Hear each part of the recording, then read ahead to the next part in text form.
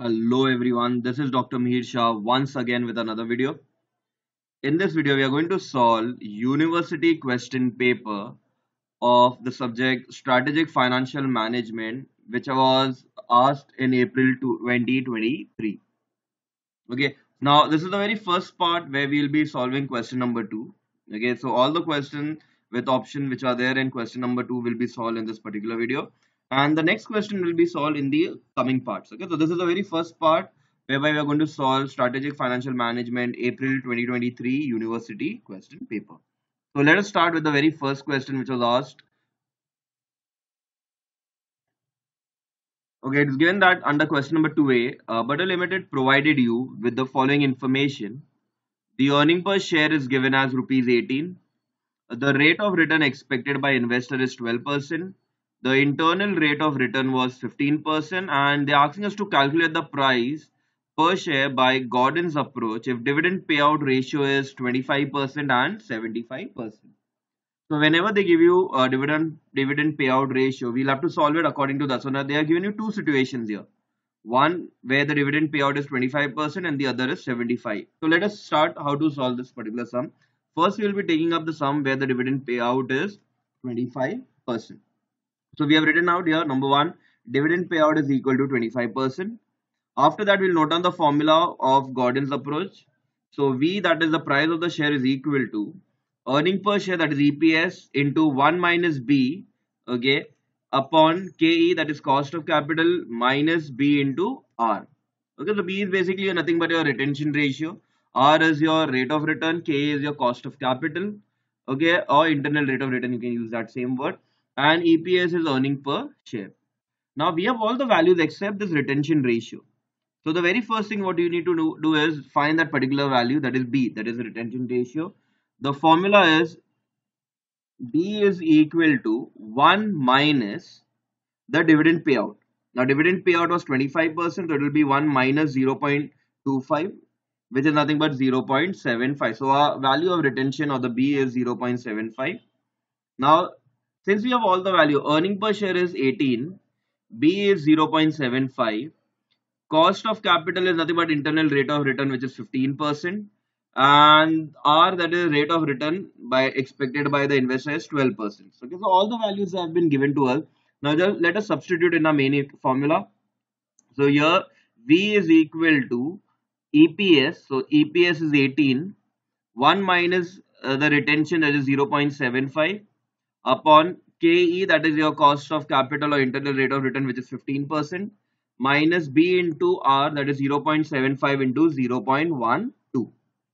Okay now once we substitute now we'll just solve that so it will become 18 multiplied by 1 minus 0.75 will give you 0.25 the 0.15 as it is when you multiply 0.75 into 0.12 you get 0.09 now we multiply the numerator and we subtract the denominator we'll get 4.5 upon 0.06 final we divide it and we'll get the price per share which comes to rupees 75 per share okay so this was as per the dividend payout ratio of 25% now similarly we'll have to do for 75% so dividend payout 75% formula is the same EPS into 1 minus B upon KE minus B into us. So we don't have the B. We'll first find the B that is 1 minus the dividend payout so 1 minus 0.75 which comes to 0.25.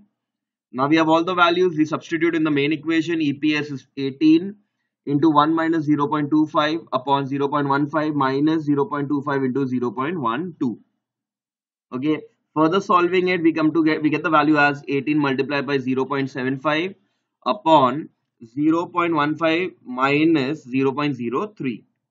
So again numerator we multiply, denominator we subtract we get the value as 13.05 upon 0.12 finally we divide and we get the value as rupees 112.5 per share. So this is how you all had to solve the very first sum which was based on Gordon's approach. Okay? I hope everyone have understood how to solve the first question. That is question 2a now alongside this was 7 mark. Alongside the 8 mark question was let us check now Okay, this was the question. Question number 2b. Akshaya Limited is considering new projects for investment the two alternative investment proposal are project red. So we have project red and project blue. The cost of each project is estimated to be 75 lakhs. So your investment cost of investment is 75 lakhs. The inflow from the projects are given. So we have been given four years cash inflows of four years. Now the current yield on government security is 8%. So that's like your risk-free rate of return is 8%. And the premium for project red is 5%. So 5% extra. So 8 plus 5 that comes to 13%. So for red company or the for project red, the rate of return or the discounting rate will be 13%. And project blue it is 7. So 8 plus 7 is 15. So for project blue, it will be 15%. Always remember, whenever they give you government security and they give you risk premium, you add up those percentages and you will get the actual discounting factor rate. Okay, now which investment should you uh, should be preferred by Akshay Limited? They have asked you and they are giving you discounting rate at 13% and at 15%. Now remember, 13% was 8 plus 5 which is for red and 8 plus 7 is 15 which is for blue. So the 13% is for red, 15 is for blue. Now in order to solve, so first, first we'll solve the red project. So we'll note down project red. Okay, now the column is very important. Okay, the very first thing, number of years. So we have 1, 2, 3, 4 Okay, next we have cash inflow, which is 30 lakh, 22 lakh 50, 17 lakh 50, and 15 lakhs. Third column, you need to note down your PV factor. That is nothing but the discounting rate at the rate of 13%. So 0 0.885, 0 0.783, 0 0.693, and 0 0.613. Last step, we need to find something called as the present value. Okay, now base first of all the sum when they ask you to find which one you should invest and when they're giving you discounting factor, they are expecting us to find the NPV that is the net present value. The one which has the highest net present value will be awarded or will is the decision you know the investment should be made in that particular project. So now we need to find something called as present value. Present value is nothing but cash inflow multiplied by PV factor. So you just have to multiply these two columns and you'll get a last column called as PV so 30 lakhs into 0.885 will give you 26 lakhs 55,000. 2250 into 0.783 gives you 1761750 and so on. Once you get multiply all the four value, get the total. So the total comes to 65 lakh 49,000. After solving the table, now we need to get the NPV. Now NPV ka formula is the total PV minus the initial investment. My total PV is 65 lakhs 49,000 and our initial investment is 75 lakhs. Okay, so your NPV will be total PV that is 65 49,000 minus 75 lakhs. Okay, so you get basically a negative. You get a negative 9 lakh 51,000 ka NPV. So I'm just putting it a bracket here because it's a negative value. Okay, now same way we'll have to find for project blue. So project blue columns again years, five, four years. The values 4250, 2750, 20 lakh and 16 lakhs. PV factor, now we'll take the 15% car rate, okay, which is 0 0.870, 0 0.756, 0 0.658 and 0 0.572. We multiply, we get the PV column and the total. The total comes to 80 lakhs, 7700. Once you get the total PV, we can apply into the formula of NPV, which is NPV is nothing but total PV, which is 80 lakh 7700 minus the initial investment, which is 75 lakhs. So when you subtract, you get a positive 5 lakh 7700 difference. Now the question was which investment should be preferred by Akshay? Now it can clearly be seen that the red project is will take you for a loss of 9 lakhs but if you go at Project Blue, you will get a profit of 5 lakhs. So the final answer, you will have to give a comment stating that since the NPV is positive of Blue, okay, which is 5 lakh 7,700. So it is preferred that Akshay should invest in Project Blue. So this is how you all had to solve question number 2B. Okay, I hope everyone has understood. So this was question number 2A and B together 15 marks. Now along with that, there was an OR okay so it was a b or a b. Okay so now let us see the other half of those the remaining two questions under question number two so i hope everyone have understood the first two questions which were contained which contained 15 marks okay? Let us see the options. Okay under option again you had 2a so it's given here. Pearl Limited has an earning per share so EPS is given 15 rupees. And an equity capitalization rate that is cost of capital is given as 10%, the company has an option to adopt either 40% or 60% dividend payout. Again, similar dividend payouts are given to us too. One is 40%, one is 60%. Compute the market price of the company's quoted share as per Walters model. The very first one was based on Gordon, now this is based on uh, Walters model. If it can earn a rate of return of 15%. So rate of return is given as 15%. So first we will take uh, dividend payout at 40%.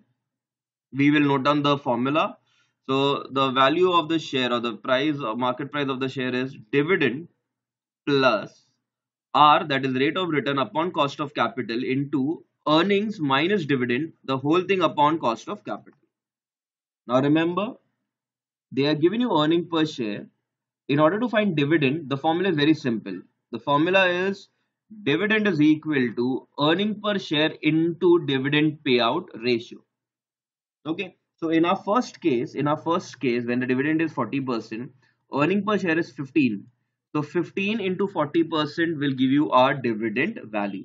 Okay. So if we if we have to solve this would have been basically 15 into dividend payout would be 40 percent. Okay? So we would have cut this the zeros. Okay? Then we had five twos are. Okay? Five threes are. Uh, we would have had uh, five uh, are two twos are so 3 twos are 6. So my dividend would have been 6 rupees here. Okay. So let us see taking dividend as 6. Okay. We will apply that into the formula. See all the values are given. Dividend we found it's six, uh, rupees 6. Rate of return is 15%. Cost of capital is 10%. Earning is 15 and dividend is again 6 and again cost of capital is given to us as 10.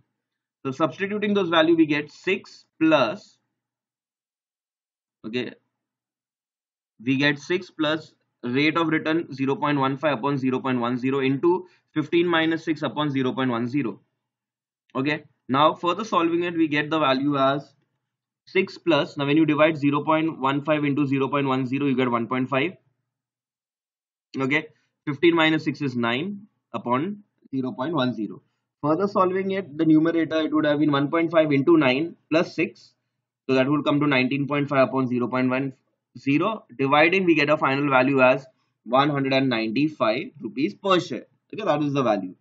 Similarly we'll have to find for uh, the 60 percent dividend payout. Again formula is same d plus r upon ke into e minus d upon ke again dividend it will be 60 percent of 15 rupees. So 15 into 60 percent we would get the value as 9 so 9 plus 0.15 upon 0.10 into 15 minus 9 upon 0.10 Further solving, we'll get 9 plus 1.5 into 6 upon 0.10. Again, we multiply, we add, we get 18 upon 0.10. We divide and we get a final answer as rupees 180 per share. Okay, so this is how you all had to solve the sum based on Walters model, which was under option question number 2a. Okay, the OR option. Okay, one last question now. Let us see the last 2b, how it was. The fourth question under question number two. So 2B, it was a little lengthy. The question was a little big. Uh, Sandeep Limited is considering one of the two mutually exclusive proposal, Project MI and Project CSK, which requires an outlay of 76 lakh 50,000 and 86 lakhs 25,000 respectively. Uh, the certain uh, so the certainty equivalent that is CE approach is been used in incorporating the risk in capital budgeting decision the current yield on government bond is 8% and considered as risk-free rate of return. Okay, 8%. So basically that will be a discounting factor in the sum. The expected net cash flow and the certainty equivalents are given. They are giving you cash flow, they are giving you CE and they are giving you 8% discounting factor. Okay, for three years. So now let us again the funda is simple. You have to find the NPV but using the certainty equivalent approach. So first for project MI, the columns are very important. First column, we note down years, which is 1, 2, 3. Cash flow, 40 lakh, 50,000, 45 lakh and 50 lakhs.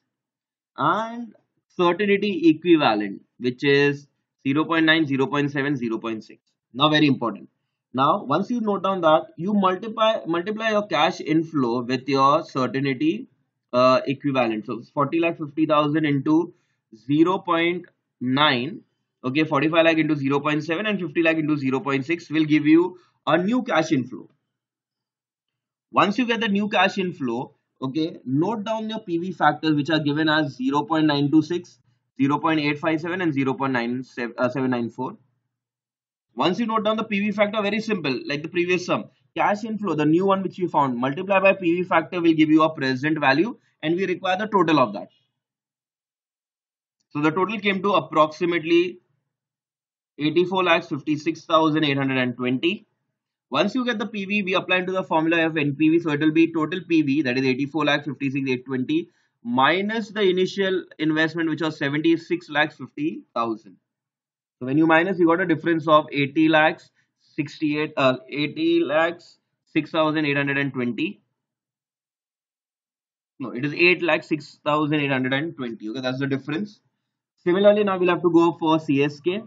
Again, here's cash inflow, the you know certainty equivalent that they are giving you, multiply, we get a new cash inflow. We note down the PV factors, multiply, and we get a total PV. Once you get the total PV, that is 93 lakh 86,335. Okay, we need to subtract the initial investment for project CSK is 86 lakhs 25,000 so we minus it and we get a difference of 7 lakh 61,335. Okay. Now they said you are required to suggest the company as to which project should be accepted. Now as per the NPV, okay, both are positive, so they both are profit making. But among the two, the project MI fetches you 8 lakh 6,820, whereas project CSK fetches you 7 lakh 61,335. So based on the highest value of NPV, project MI should be accepted. That would be your final conclusion. Okay. So I hope everyone have understood. These are the first four questions under question number two under the paper of strategic financial management, April 2023. I hope everyone have understood. Okay. So this was the part one of our video series based on solving 2023 April paper okay stay tuned for other videos okay where we'll be continuing this paper and we'll be solving the remaining part of the uh, university paper. So i hope everyone have understood. With that we will be ending this video here. Thank you